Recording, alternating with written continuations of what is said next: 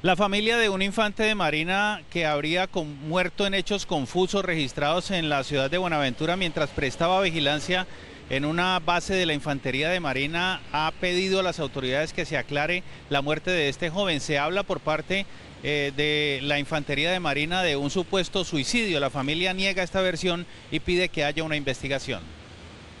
Romario Castillo Rivera, de 18 años, apareció muerto en una garita de la base de Infantería de Marina número 2, con sede en Buenaventura. Al parecer, el joven que estaba prestando servicio desde septiembre del año pasado se habría suicidado. El momento no me han dado una respuesta de que yo pueda quedarme conforme. La respuesta que me trajeron es el cuerpo de mi hijo muerto y la, y la carta de función. El padre del uniformado exige una investigación sobre lo ocurrido. Asegura que no cree que su hijo se haya quitado la vida con el arma de dotación.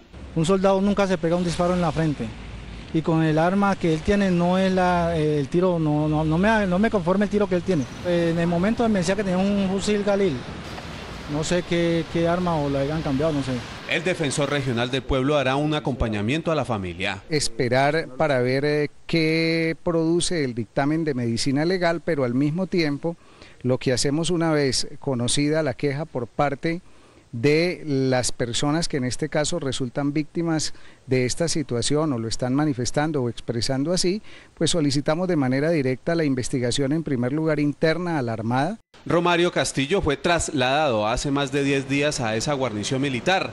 Hasta el momento, ningún alto mando de la institución armada en Buenaventura se ha pronunciado frente al caso.